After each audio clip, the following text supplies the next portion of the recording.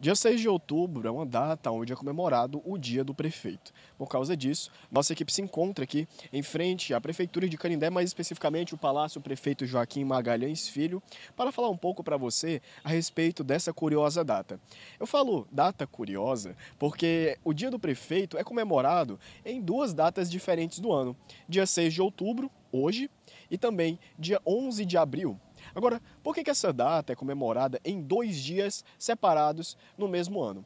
A resposta é bem simples. O dia 11 de abril ele faz referência ao dia em que o cargo de prefeito foi implementado no Brasil. Faz alusão ao dia 11 de abril de 1985 por meio da Lei 18, aonde então a Assembleia Provincial Paulista instituiu o primeiro cargo de prefeito no Brasil.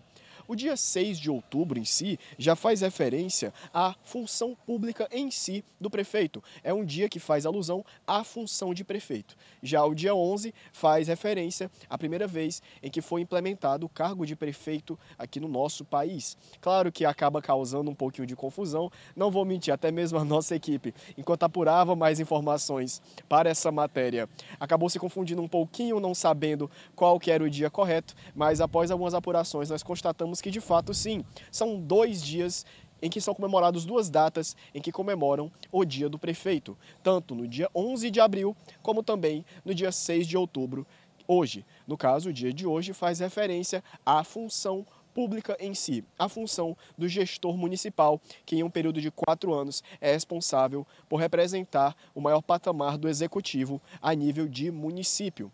E a gente traz para você, é claro, essa informação também deixando assim um registro desta data que faz referência à função de prefeito.